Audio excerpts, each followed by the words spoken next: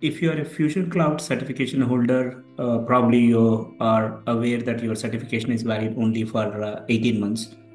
To renew your uh, certification, typically you will take a Delta exam just before your certification expires and pay the required uh, fee. However, now we have an exciting news. Oracle now offers the Delta exam free of cost. In this video, I will dive deeper into the details of this particular update this is Arvind Varaganti and you are watching Oracle EBS and Fusion Videos channel.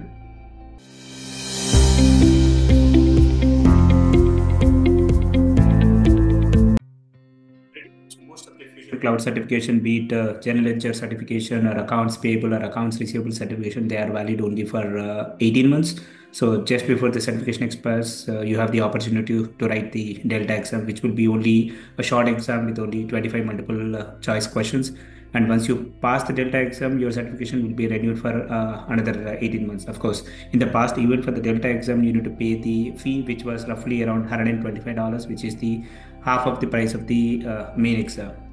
So but if you need more details on the number of questions asked duration of the exam topics covered in each of these certification exams including the delta exam probably you can take a look at my previous videos. The links for the same is mentioned in the uh, description section of this video so recently Oracle has uh, made announcement that now all these Delta exams are free of cost. Now let me show you the details about uh, uh, the Delta exam, how you can take this Delta exam free of cost without paying any fee.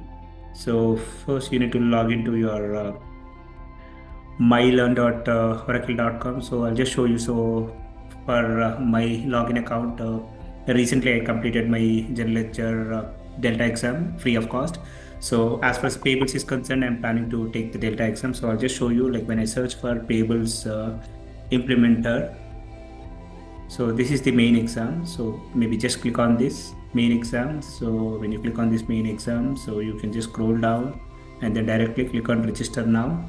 So this is the main exam. So when I try to click on buy exam, so now it will give me an opportunity to what do you call enroll for the delta exam. So now i need not take the main exam. My main uh, your uh, payables uh, certification was already expired an year ago. I did not then i did not write any delta exam. But now i'm planning to take the uh, this opportunity to write the delta exam for payables uh, without paying any fee. So when i go and buy for this exam or like when i try to write this particular main exam it is giving me an opportunity to go for delta exam. So just click on this delta exam.